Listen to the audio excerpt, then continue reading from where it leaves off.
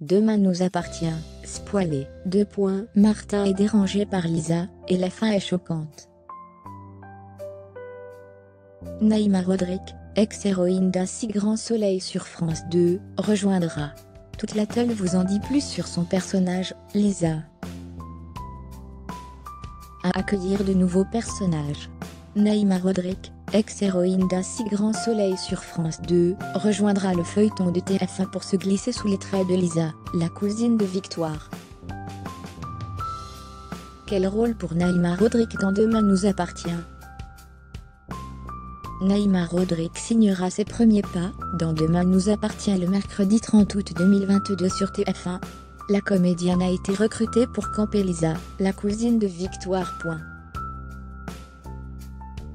Son arrivée à 7 sera loin de passer inaperçue.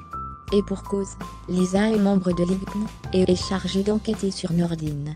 Elle veut comprendre les circonstances du vol de son arme de service et son implication dans l'évasion de Sacha. Parallèlement au retour d'Elma, Lisa débarque au commissariat. Elle demande à voir Martin. Georges se charge de l'accueillir. Le commandant Constant est absent. Georges ne reconnaît pas d'emblée Lisa, la cousine de son ex, Victoire. Celle-ci vient à 7 pour enquêter sur Nordine.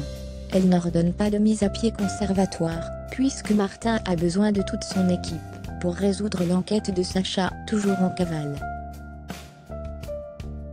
Lisa demande à Martin d'avoir accès aux documents répertoriant les incidents dont Nordine a été impliquée. Elle veut également pouvoir interroger les personnes concernées par cette affaire. Lisa retrouve ensuite Victoire. Cette dernière l'invite à venir dormir chez elle. Il était prévu que Lisa aille à l'hôtel le temps de son enquête. Quelle sanction prononcera-t-elle envers Nordine? Affaire à suivre. Le lundi 29 août, TF1 a débuté une nouvelle semaine de Demain nous appartient en Access Prime Team. La série a été plébiscitée par 2,89 millions de téléspectateurs, soit 18,9% de l'ensemble du public, entre 19h14 et 19h49.